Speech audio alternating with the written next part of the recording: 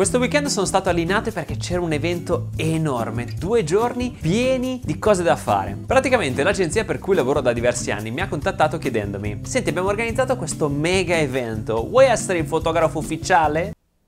Ok? Quindi ho preso e sono andato. Ora dovete capire che quando dico che era un grande evento, era proprio un evento grande. 250.000 persone. Sono tantine anche solo da pensare. Perciò mi hanno chiesto di documentare questi due giorni nella loro totalità. All'interno di queste giornate c'erano un sacco di cose. Innanzitutto c'era la street food che durava dalla mattina fino alla sera, tanti micro eventi nei vari stand perché c'erano tantissimi stand diversi e poi un evento focale sul quale ruotava tutta la giornata. Il sabato era la giornata delle prove delle frecce tricolore, ma soprattutto della Rocky 1000. Mille pazzi furiosi fuori di testa che che sono tutti insieme all'unisono della musica rock.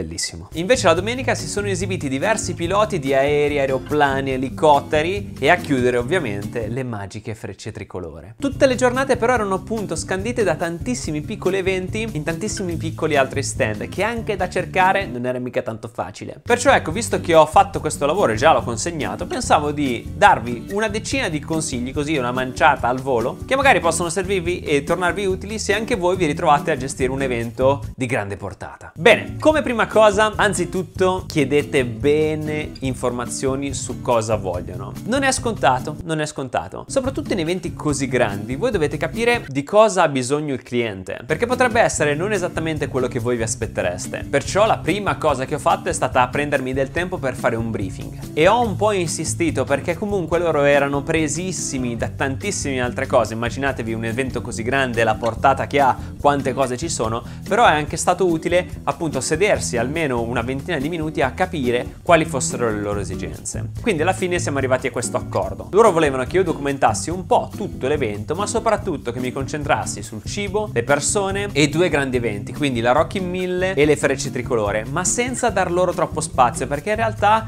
interessava più il contesto, visto che loro erano gli organizzatori, volevano far vedere come era venuto l'evento, le persone, insomma tutto questo ambito. Perciò è stato fondamentale appunto sedermi, fare un po' la lista delle priorità. 2. Sulla base delle loro priorità ho preparato l'attrezzatura e anche qui non è affatto scontato. Io per esempio, come sapete benissimo, mi viene un po' l'orticaria solo la parola zoom, però me ne sono dovuto procurare uno. Senza sarebbe stato davvero molto difficile, anche perché loro non sapevano dirmi esattamente dove e come mi sarei potuto muovere, non sapevano esattamente quali fossero le distanze e perciò capite bene che con la mia attrezzatura, io ho un 28, un 35, un 50, un 85, senza uno zoom più lungo sarebbe stato davvero difficile poter catturare dei momenti. Perciò mi sono fatto prestare il 70-200 F4 e sono andato con quello. Inoltre per l'evento io ho deciso di andare con due macchine al corpo, che è stata diciamo una scelta un po' sopra le righe, perché comunque camminare tutto il giorno con due macchine addosso vi assicuro che risulta un po' stancante, però una macchina avevo montato il 35 mm che è molto leggero e quindi quasi non lo sentivo, dall'altra avevo il 70-200 che però spesso tenevo con una mano, quindi diciamo che più o meno il peso si è distribuito. In questo modo avevo un'ottica ottica per fare le foto magari di gruppo alle persone e con l'altra invece potevo fare più dei ritratti da lontano oppure più il contesto preso sempre da un punto di vista piuttosto distante, ecco. 3. Strutturarsi una tabella. Anche questo è fondamentale. Una cosa che ho chiesto è di avere più o meno il programma della giornata. Perché in uno spazio così ampio, e vi ripeto 250.000 persone, non so se a casa vostra ci stanno, ma a casa mia no. Per percorrerlo tutto ci saranno voluti 40 minuti da una parte all'altra. Quindi capite che se io mi fossi trovato in un posto mentre mentre c'era un evento importante in un altro sarebbe stato disagevole. Perciò mi sono fatto dare una tabella con tutti gli orari, ho cercato di chiedere e capire quando c'era qualcosa di importante di modo da potermi far trovare lì quando ne avessi avuto necessità. 4. Questo è fondamentale. Fare prima le cose a scadenza. Cosa intendo? Spesso negli eventi ci sono cose che accadono in un momento preciso e altre che invece ci sono un po' per tutta la giornata. E dei momenti a scadenza, cioè che duravano magari poco e che o prendevo prendevo lì o non prendevo più. Per esempio, quando sono passate le frecce tricolore, dovevo prenderle in quel momento. Non è che dicevo, scusate ragazzi, non ho fatto lo scatto, potete ripassare per favore? Non avrebbe funzionato. Oppure durante la rock-in le prove dovevo essere lì per fare degli scatti a loro. Insomma, importante capire quando dare la priorità e soprattutto esserci quando c'è quella cosa importante. Fondamentale. Anzi, se proprio devo dirla tutta, meglio arrivare prima, posizionarsi con un attimo di calma, che si sa mai che poi gli orari sono sempre un po' ballerini. 5. Vi parlo un po' delle impostazioni della mia macchina. Allora, io ultimamente scatto sempre più o meno allo stesso modo, perché per il genere fotografico che faccio, che è prettamente reportage, che si tratti di matrimoni piuttosto che di ritratti all'aperto o anche come in questo caso appunto eventi, più o meno diciamo il contesto è diverso ma la solfa è uguale e devo dire che ho trovato una serie di impostazioni davvero fantastiche. Quali sono? Lavoro in priorità di diaframmi e il diaframma di solito lo tengo se è F4, nel caso del 70-200 spesso lo tenevo a 4 e invece per quanto riguarda il 35 lo tenevo a F2, F2-2, poi dipende, magari se c'erano dei gruppi chiudevo un pochino di modo da far sì che fossero tutti a fuoco. Perciò priorità di diaframmi, così faceva tutta la macchina e ciao Peppo, e ISO automatici. Ora, io ho una macchina che mi permette di scattare ISO altissimi senza grossi problemi, quindi io tenevo di minimo un 250 quindi la macchina non poteva scendere sotto un 250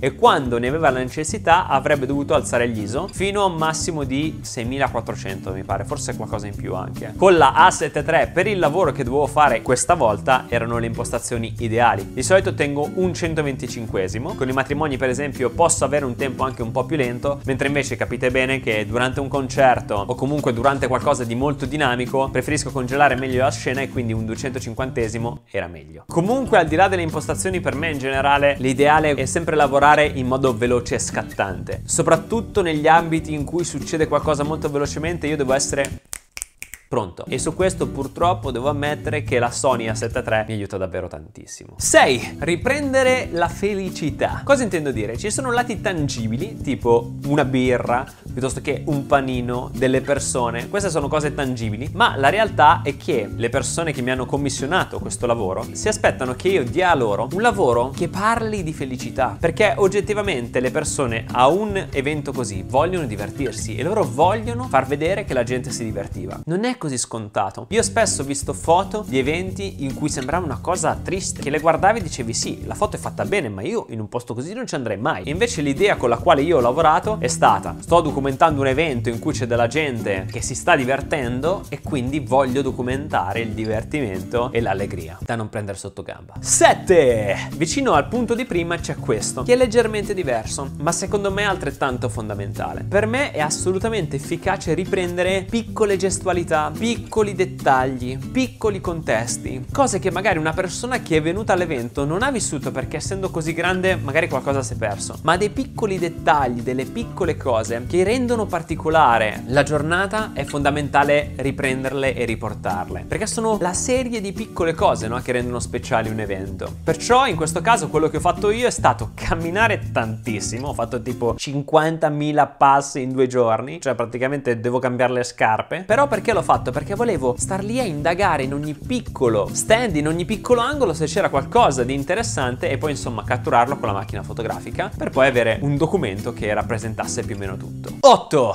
Stare sempre pronti. Anche questo non è per niente scontato. Infatti quando lavori per molte ore tendi ad abbassare un po' l'attenzione. Invece bisogna sempre stare con le antenne dritte. Infatti è capitato più di una volta che ci fossero degli eventi istantanei, divertenti, che se non avessi colto in quel momento difficilmente sarebbero ricapitati sbagliati. E quindi anche nei momenti in cui magari stai facendo una traversata da una parte all'altra, oppure semplicemente stai cercando un attimo di capire come orientarti, comunque sempre antenne ben ritte, perché le piccole cose accadono accanto a noi e dobbiamo essere pronti a coglierle. 9. Considerare le luci. Fondamentale questo. Ragionate sempre con l'ottica di dire alcune cose posso farle adesso perché poi se cala la luce qui cambia tutto. Per esempio, non so, le foto alle persone mentre mangiavano le ho fatte quando ancora c'era luce, perché sapevo che se avessi procrastinato la cosa, la sera poi avrei trovato una luce diversa. In più considerate anche che spesso la sera ci sono un sacco di interferenze di luce e quindi è più difficile lavorare. Io poi quasi mai uso il flash in questi eventi, non perché non mi piaccia, ma più che altro trovo scomodo doverlo usare staccato dal corpo macchina, perché a mio gusto è l'unica cosa che funziona in un ambito aperto, scattare con il flash staccato dal corpo macchina. Però questa cosa la la trovo molto scomoda e invece trovo molto più comodo sfruttare le luci dei track. Quindi cosa faccio? Se devo scattare una coppia, la porto vicino a un track, il track è di spalle a me, la luce che emana va contro le persone che sto fotografando che sono illuminate da quella luce quindi per me è molto più semplice scattare. Però comunque la sera subentrano tante difficoltà, perciò attenzione. Ovviamente quando scattate concerti ho fatto già un video che riguarda questo ci sono diversi consigli, potete andarvelo a vedere, ve lo lascio qua sopra. Lì ci sono tantissime cose da prendere in considerazione e le luci sono davvero